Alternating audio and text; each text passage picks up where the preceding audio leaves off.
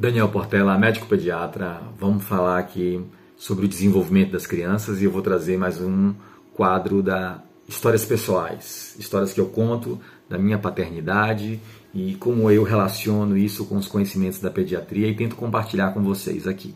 Bem, eu utilizei uma, a seguinte estratégia com meu filho para o desenvolvimento de sua autonomia.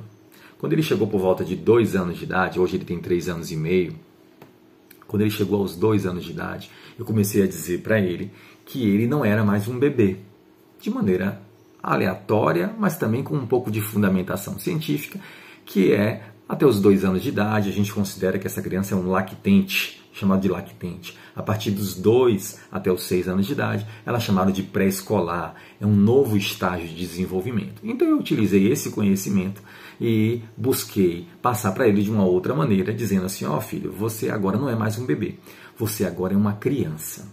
E algumas vezes eu chamava assim: ó, você agora é uma criança grande.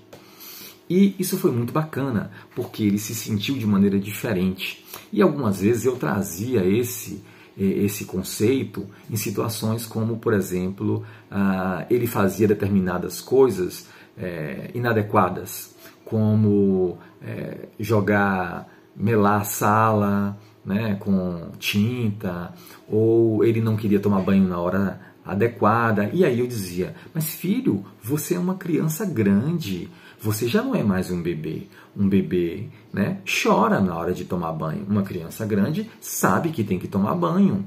E ele ouvia tal e ia para o banho.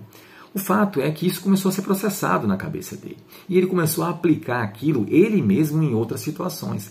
De uma maneira muito interessante, quando a gente chegou na casa da avó, a avó né, pega ele, dá, pega no colo, dá beijo, e aí ele disse: Não, vovó, né, eu agora não vou mais no seu colo, porque eu sou uma criança grande. Né? É claro que a avó ficou chateada com isso, né? a frustração de, de não pegar ele no colo, mas acaba indo, pega no colo tal. O fato é que ele começa a perceber a sua autonomia, independência, o seu desenvolvimento.